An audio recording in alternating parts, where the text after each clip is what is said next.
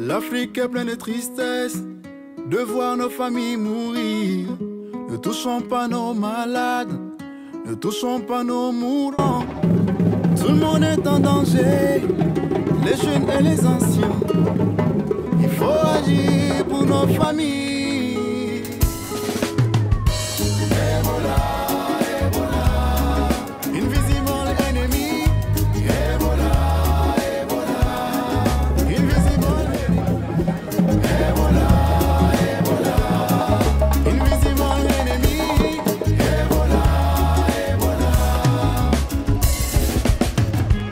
Ebola, tu es notre ennemi.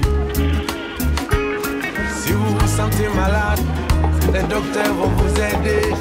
Je vous rassure, les docteurs vont vous aider. Il y a de l'espoir d'arrêter Ebola. Et confiance au docteur.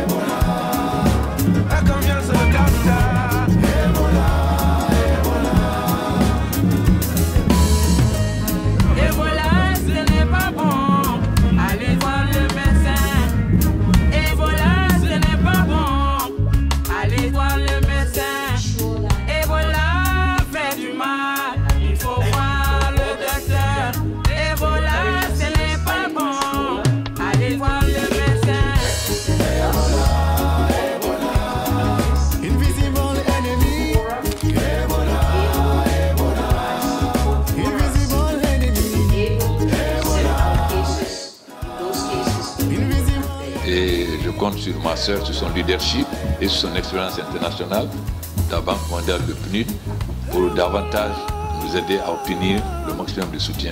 Mais je pense que nous devons constater que l'Organisation mondiale de la santé ne s'est pas mobilisée vite et n'a pas très bien compris le voilà au départ.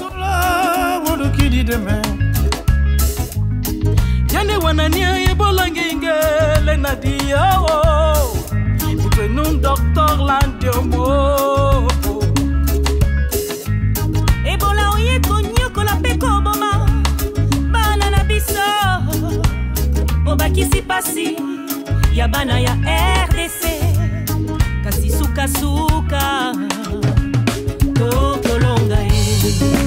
Ayiwuli